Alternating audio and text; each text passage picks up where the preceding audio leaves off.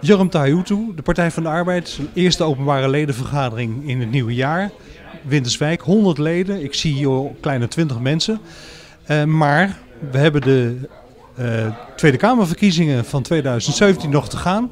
En jullie maken je al druk over de gemeenteraadsverkiezingen van 2018. Is daar reden voor om daar zo vroeg mee te beginnen?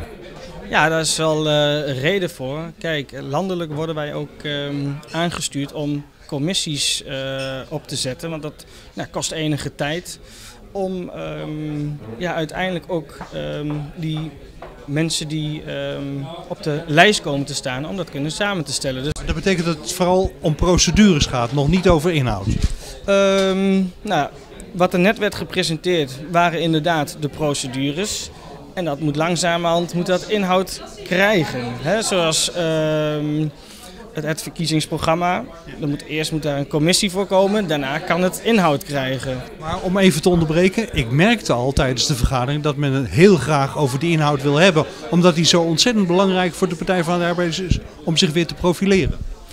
Ja, dat klopt. En misschien dat daar dan uh, ook de verwarring in zit. Omdat er twee, we hebben het nu over twee uh, verkiezingen, de landelijke verkiezingen en de gemeenteraadsverkiezingen.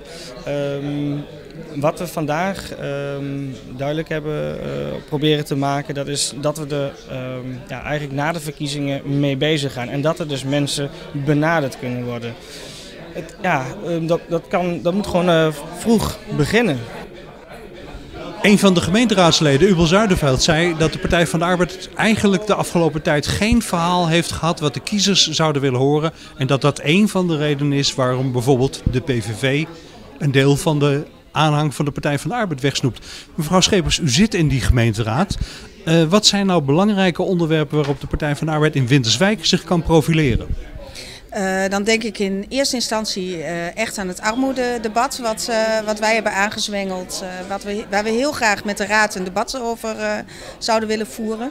Ehm, in mijn werk als wijkverpleegkundige kom ik ook heel veel bij mensen thuis. En kan ik gewoon zien dat armoede echt een hele grote stempel drukt op het leven van mensen. Als ik even mag onderbreken, over dit debat, althans wanneer het gevoerd moet worden, wordt al een jaar gepraat. Waarom lukt het niet? Ja, dat is echt uh, dat is een doorn in mijn oog, moet ik ook eerlijk zeggen. Uh, als Partij van de Arbeid hebben we daar ooit een motie over ingediend. Uh, de hele gemeenteraad wenste een debat. we zijn ook een paar keer bij elkaar gekomen om met de wethouder daarover te spreken. En uiteindelijk hebben we wel gezegd, we willen niet dat het het debat van de Partij van de Arbeid wordt. We willen dat het het debat van de raad wordt. Dat betekent dat dat, uh, dat je het minder politiek in eerste instantie maakt en meer op inhoud. En dan is de organisatie van zo'n debat niet aan ons als partij, maar echt aan de wethouder, het college die dat moet organiseren. En dat is eigenlijk wat de laatste maanden heeft gespeeld. wethouder Aalderink heeft die handschoen ook opgepakt en heeft gezegd we gaan dat organiseren. En in de eerste kwartaal van dit jaar zal dat ook plaats gaan vinden. En dan hebben het één punt van de inhoud aan de orde gehad. Maar eh, meneer Tahutu, uh, er moeten natuurlijk veel meer onderwerpen komen. Uh, ik heb begrepen dat de suggestie is, ga het ophalen bij de mensen in de wijken. Hoe gaat u dat doen? Nou ja, wat ik gewoon al weet van de leden is dat eigenlijk um, veel leden die zitten ook geworteld binnen andere verenigingen. Ik noem een sportvereniging. Ik zelf ben... Uh, ja, mevrouw Schepers bij Trias. Ja, bij Trias. Ik zelf uh, ben ook actief bij de initiatiefgroep Molukkers van Winterswijk.